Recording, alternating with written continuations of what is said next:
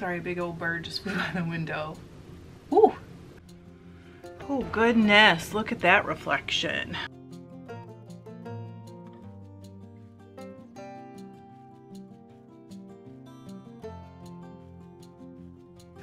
Hi, welcome to Fiber Love Diary. I'm Trish if we haven't met, and if we have met, welcome back. How are you?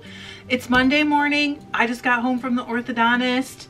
You guys, I know that this isn't going to mean much to you guys, but I just finished up, I've been doing Invisalign. I just finished up the bottom teeth and moved to a retainer. I have 12 weeks on the top teeth and then fingers crossed I'll be moving to a retainer. It is the end of almost like three and a half years, I think, of work of sometimes pain, annoyances, going for appointments. I don't love him. I hope he never sees this.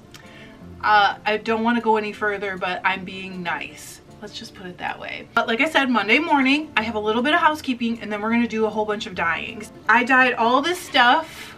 I'm just going to hold them up.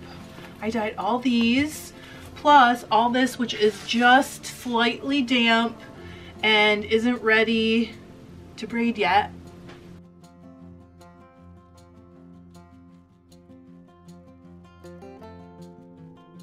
I also did some other stuff to prepare for weaving. I think next week we're gonna get a weaving video. I hope, fingers crossed. It took me forever. Like I thought it was gonna come out today, but it took me forever to decide I guess what I'm actually going to do. Sometimes because I sort of changing the pattern isn't exactly right, but I sort of redesign color patterns and things like that. Sometimes it takes me a while to figure out exactly what I want to do. I think I have it figured out, but I haven't worked yet. I hope that makes sense to you guys. So next week I hope it'll be um, weaving and then also the big big news is that we are 150 subscribers or less from giving away that Brother Standard Drum Carder. Are you serious? Yes, I'm serious. I showed it a couple videos back. I actually packed it up in um, the box that's gonna get shipped in with all the like paper and stuff. I might take it back out and bubble wrap, bubble wrap it, but it came to me, not bubble wrap, so I'm not really sure. Anyway, right now it's all packed. I may unpack it, but I'm not gonna show it to you again. I will link the video. Right after we hit, I think it was 6,000 subscribers, I became a dealer for Brother and I was like, this is the perfect time. I need to buy one of these drum carders to give away for when we hit 10,000. And it was like way out. I mean, I say way out. It was way out. And I bought it and I've had it sitting in my bedroom ever since. So now we're getting close to that number and it's weird because it's like part of you is like we're gonna get there it's so exciting and then part of you is like that's never gonna happen so i have this cognitive dissonance about the whole thing but it's happening it is definitely happening so at the current like subscriber rate it's somewhere between well it, it would be at the current current rate it would be like within the next week but um it could be as much as two weeks. I never really know how those rates are gonna go. Sometimes they go up really drastically like if another channel that has a lot of subscribers mentions the giveaway or mentions the videos or the channel or a specific video sometimes it jumps up sometimes it kind of slows down. I i do look at those numbers but in a lot of ways there isn't that much you can really do to influence it. So i don't stress over it and i don't always dig in as deeply as some other people do. When we hit 10,000, I'm gonna do like a 20 minute live. We're gonna talk about it. I'm gonna like celebrate. And then for the month after that, comments on that video, that one, are the ones that are gonna be entered. So keep your eyes peeled for that, okay? Don't forget. Pretty good prize. I wish I had five to give away. Right now I don't, but you know what? Maybe someday. I don't like to think that that's never gonna happen. Giving stuff away is my favorite. I love it. I would do it every week if I could afford to. Unfortunately, I can't. But maybe someday I will. Maybe one of you guys said in the last live, you'll be like the Oprah of fiber, and wouldn't that be the best? That would be the best. You probably think if I won like Powerball, I would never make another video again, but I would. I would make videos and I would give stuff away like every week. Wouldn't that be so fun? Oh my gosh. Okay. All right, so it's time to get to the dyeing. Let's go do this. It's all in my kitchen. A lot of the time I'm wearing a mask, so there might be voiceovers. And all of it's in the shop, except a few things are already sold. So by the time you see this, all the braided ones are in the shop already. The rest of these are not quite dry enough to braid, so they'll be in the shop if they're dry enough, and if they're not, they'll be dropped in the next day or two. I'm just waiting for like them to really truly be dry. So if you feel like it, I would love to hear which color combination or which color all by itself is your favorite. So drop that in the comments below. All right, let's go get dyeing some fiber. Oh, I just came upstairs to get the yarn soaking and look how pretty this is. The sun's coming up and lighting up the trees with the snow on them. There, these are my three hanks of sport weight yarn from Knit Picks.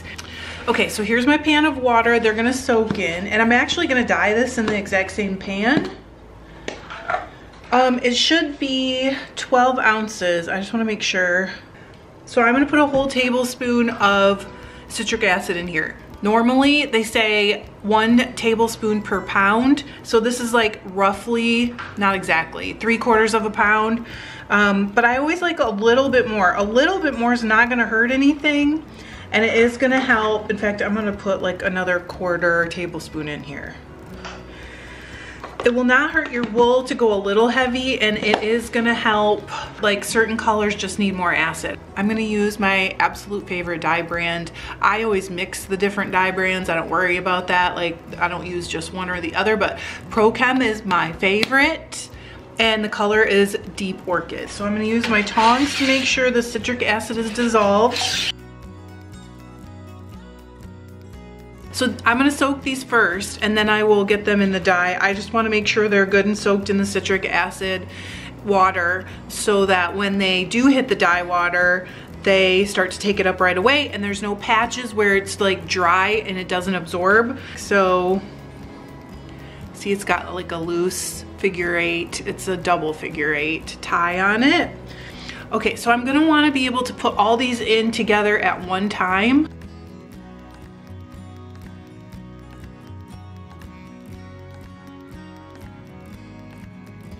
I don't always do this. Sometimes I don't care about that. A lot of times I set them in the pan and put the dye on after so then it really doesn't matter. But um, in this case, I'm gonna set up, I'm gonna soak them and then I'm gonna set the dye up in this big pan and then I'm gonna put them back in.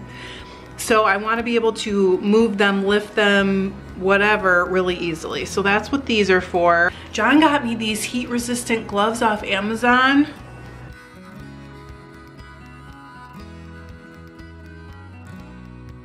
All right, we're gonna leave this for two hours. We're ready to do some dyeing. I'm gonna mix my dye.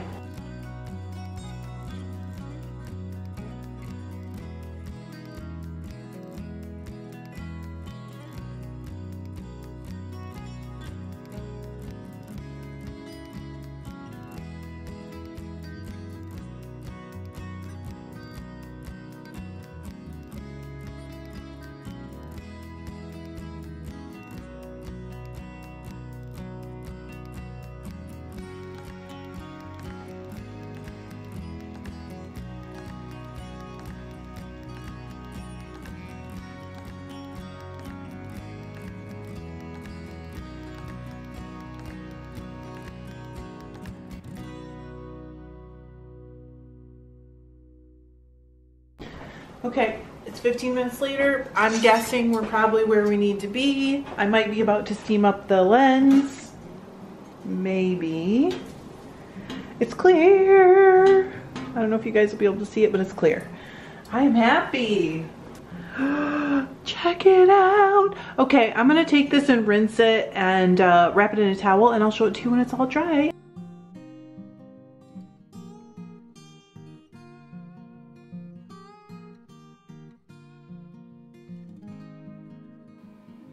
While I was editing, I found out I lost some of this footage. It's corrupted, but this is four balls of Dorset Horn top and four balls of BFL Firestar blended.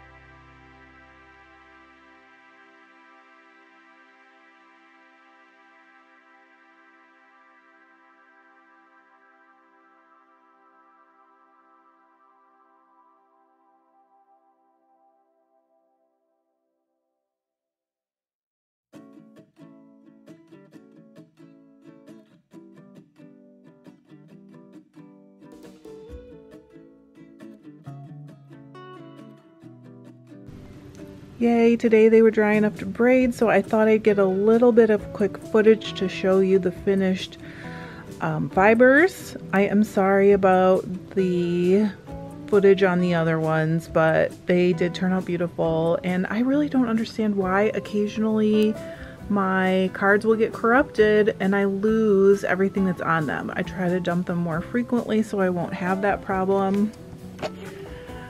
But um, this one is so pretty. The like coral and green and turquoise is just, for some reason, they're both really speaking to me. So I may keep a couple of these. These are the Dorset Horn. The BFL Firestar looks very similar and they are so pretty. There's the rest of it. It's not braided yet. Thanks for joining me for this dyeing. Thanks for joining me for this. I will see you guys on Sunday for the live. And if we hit 10,000, you'll see me live for a shorty. Um, before that, thanks. I love you. Bye.